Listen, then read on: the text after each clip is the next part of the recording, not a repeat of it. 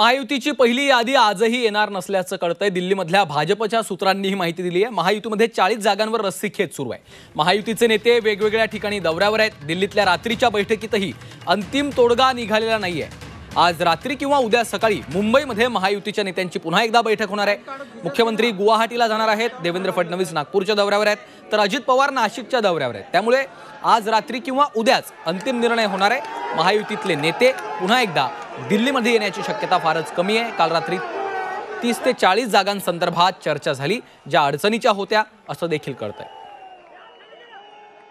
काल दिल्लीत बैठक झाली. सगळं व्यवस्थित चाललेलं आहे. काळजी करू नका. आम्ही तिघं एकत्रपणे प्रेस घेऊ.